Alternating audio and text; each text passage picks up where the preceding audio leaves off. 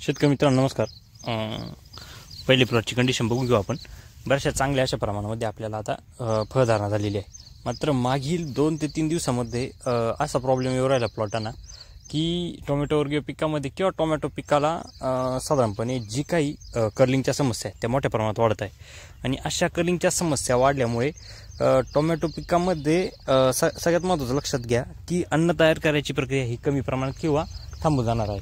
आणि अशी अन्न तयार करायची प्रक्रिया जर थांबली तर निश्चितचपणे आपली जी काही फ्रुटिंग आहे ती निश्चितचपणे फुगण्याची जी क्षमता आहे ती कार्यक्षमता कमी होऊन जाईल. लक्ष आता लक्षात असू हे बघा आपण बघतोय पूर्णपणे कर्लिंगचा प्रॉब्लेम आहे. पूर्णपणे कर्लिंगचा प्रॉब्लेम राहिला.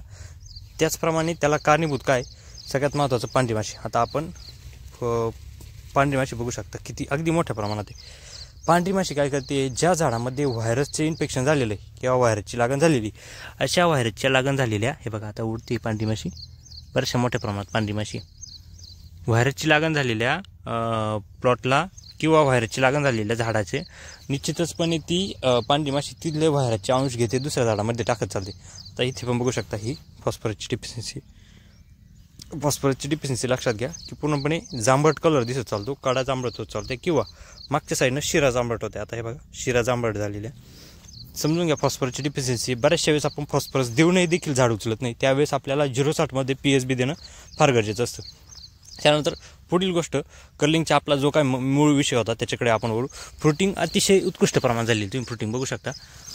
फ्रुटिंग चांगली आहे सेटिंग एकदम भारी झालेली आहे. सेटिंग होती आहे नॅचरली सेटिंग होती. आपण काय अजून दिलेलं नाही सेटिंगला विशेष या प्लॉटला पण सेटिंग नॅचरली होती वीस अठ्ठेचाळीसचा प्लॉट आहे. जर नीट लक्षात घेतलं तर मागील काही आठ दिवसाचा जर विचार केला तर मागील आठ दिवसाच्या कालखंडामध्ये आणि मागील आठ दिवसाच्या कालखंडामध्ये जो काय पावसाची परिस्थिती ती जास्त मोठ्या प्रमाणात होती. त्यामुळे अशी इपिसिन्सी असून देखील कुज वगैरे काही झालेली नाही. सेटिंग अतिशय उत्कृष्ट होती.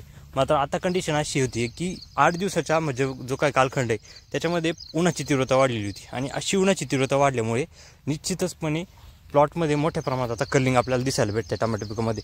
अशी कर्लिंग जर आपल्याला कुठेतरी दिसायला सुरुवात झालेली असेल तर निश्चितच लक्षात घ्या आपल्याला खालून पाणी व्यवस्थापन व्यवस्थित ठेवणं गरजेचं आहे. ज्या ठिकाणी आपण पाणी व्यवस्थापन व्यवस्थित ठेवणार आहे अशा ठिकाणी कुठल्याही प्रकारची अडचण येणार नाही पण ज्या ठिकाणी आपल्याकडून पाणी व्यवस्थापन चुकणार आहे किंवा पाणी व्यवस्थापनाला अडचण येणार आहे त्या ठिकाणी तुम्हाला व्हायरसचे सिमटम्स जीवाणूजन्य करपा त्याचबरोबर अर्ली ब्लाईट जो काही ल- सुरुवातीला येणार करपा आहे त्याचप्रमाणे गेरवा यासारख्या रोगांना मोठ्या प्रमाणात आपल्याला सामोरे जायला लागणार आहे. त्यासाठी पूर्वतयारी म्हणूनच लक्षात असू द्या की पाणीनी व्यवस्थापन करणं फार गरजेचं आहे. आता आपण ह्या प्लॉटची कंडिशन बघितली तर रूट झोन बघा. तुमच्या लक्षात येईल कुठेही रूट झोनला अडचण नाही. पण दुसरं महत्त्वाचं तुम्ही जर बघितलं तर रूट झोन तुम्ही बघून घ्या. रूट झोन डोळ्याने बघा. आपल्या प्रत्येक प्लॉटला रूट झोन असाच असतो. जर तुमच्या खाली पाया जर भक्कम असला तर वरची इमारत व्यवस्थित बांधणार आहे. पण पायात जर व्यवस्थित जर नसला तर इमारतीला निश्चितचपणे अडचण येणार आहे. त्याच दृष्टीने बघा मुळीची तुम्ही मुळांची संख्या बघू शकता. अतिशय उत्कृष्ट आहे. अशा ठिकाणी तुम्हाला जर ऊन पडत असेल तर पाणी देत राहणं फार गरजेचं आहे. त्यानंतर शेतकरी मित्रांनो फवारणीद्वारे ज्या ठिकाणी आपल्याला अशा समस्या मोठ्या प्रमाणात दिसतील आता पूर्णपणे याचा शेंडा ॲक्टिव्ह आहे. पण तरी व्हायरची थोडीफार लागण आपल्याला याला झालेली आहे. आपण बघू शकता. त्या ठिकाणी निश्चितचपणे आपल्याला एक वरतून फवारणी देणं गरजेचं आहे. फवारणीमध्ये आपल्याला घ्यायचं आहे कुठलंही अँटीव्हायरल प्रॉपर्टीज असणारं कुठलंही घ्या. माझं मी असं म्हणत नाही का ह्याच कंपनीचं पाहिजे हेच पाहिजे. असं नाही.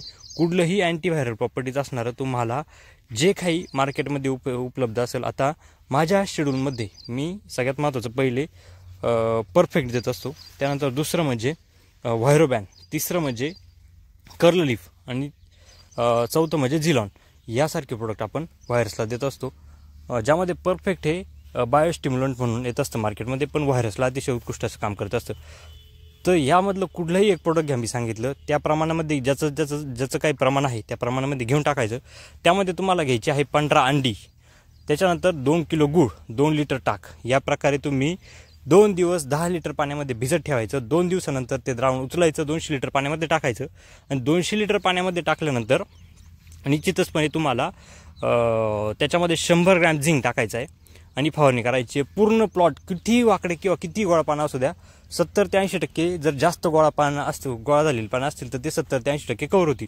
मात्र ह्या पद्धतीचा आपण जर प्लॉट बघतोय आता हा मोजॅक व्हायरस आहे ह्या पद्धतीचे जर सिमटम्स असतील तुमच्या प्लॉटमध्ये तर निश्चितचपणे हा पूर्णपणे कव्हर होऊन जाणार आहे. त्याच्यानंतर दुसरं महत्त्वाचं म्हणजे त्यानंतर दुसरं महत्त्वाचं म्हणजे शेतकरी मित्रांनो अजून एक गावठी उपाय सांगतो मी तुम्हाला की त्याने तुम्ही हा जरी स्प्रे नाही घेतला तर कीटकनाशकाचा पहिले स्प्रे काढून घ्या. त्याच्यानंतर गावठी गायची किंवा गायीचे गोमूत्र घ्यायचे तुम्हाला. साधारणपणे पाच लिटर ताक घ्यायचं आहे पाच लिटर. मडक्यामध्ये साधारणपणे झाकून ठेवायचं आहे तुम्हाला हे पाच ते सहा दिवस. पण एवढा कालखंड गेल्यानंतर इकडं प्लॉट जास्त गोळा चालतो. जर तुम्हाला प्रिव्हेंटिव्हमध्ये किंवा क्युरेटिव्ह जर स्प्रे जर टाकायचा असेल त्या दृष्टीने पुढचा भविष्यात विचार करून ठेवा. ते पंधरा दिवसाच्या पुढे देखील भिजत राहिलं तरी त्याला अडचण नाही. पण फक्त लक्षात असू द्या कुठल्याही प्लॅस्टिकच्या बादलीमध्ये नाही. कुठल्याही स्टेनलेस स्टीलच्या भांड्यात नाही ॲल्युमिनियमच्या भांड्यात नाही. तर तुम्हाला हे मडक्यामध्येच भिजत ठेवायचं आहे पूर्णपणे पाणी निघून जातं त्याच्यामधलं. आणि जे काय अर्क अर्क असतो तो दोनशे लिटरमध्ये टाकायचा आहे. त्यामध्ये तुम्हाला मी सांगितलं आहे की पाच लिटर टाक आणि पाच लिटर गाईचं गोमूत्र. हे द्रावण तुम्हाला साधारणपणे कमीत कमी पाच दिवस हे मडक्यामध्ये भिजत ठेवून दोनशे लिटरमध्ये टाकायचं पाचव्या दिवशी आणि स्प्रे करून द्यायचा. कितीही गोळा पानं असले तरी पूर्णपणे कवरून होऊन जातील. आता कोबीचा बघतोय. तो पण आपल्याच कन्सल्टन्सी खाली पूर्णपणे. पण लक्षात असू द्या कुठल्याही पिकामध्ये सुरुवातीपासूनच मॅनेजमेंट हे फार महत्त्वाचं आहे. आता हा प्लॉट पूर्णपणे आपल्या कन्सल्टन्सी खाली होता. मात्र शेतकरी मात्र गडबड अशी झाली की उन्हाच्या तीव्रतेमुळे पूर्णपणे कर्लिंग आता याच्यावरती मोठ्या प्रमाणात येत आहे. पण ठीक आहे ते हरकत नाही. आपण एक स्प्रेने ते पूर्णपणे कव्हर होऊन जाणार आहे. कशी कर्लिंग असो मी सांगितलेला तो जर स्प्रे जर घेतला तर पूर्णपणे कवर होऊन जाता पाण्यात त्याच्यामुळे निश्चितच लक्षात घ्या की आपल्याला शेड्यूल जर व्यवस्थित तुम्ही फॉलो केलं आपलं ते ऑनलाईन असो ऑफलाईन असो तर प्लॉटची परिस्थिती निश्चितच चांगली बनणार आहे. शेतकरी मित्रांनो शेतकरी मित्रांनो अशाच नवीन नवीन व्हिडिओ मी तुमच्यासाठी घेऊन येत असतो. कारण आपलं म्हणजे शेतकरी इतका अडाय नाही का त्याला काही माहिती नाही. सर्व गोष्टी माहिती पण वेळेवरती कसं मॅनेजमेंट व्हावं या दृष्टीने विचार केला गेला पाहिजे. तर आपला विचार तसाच असतो. वेळेवरती मॅनेजमेंट वेळेवरती सर्व माहिती या गोष्टीने सर्वपणे आपण सांगत असतो.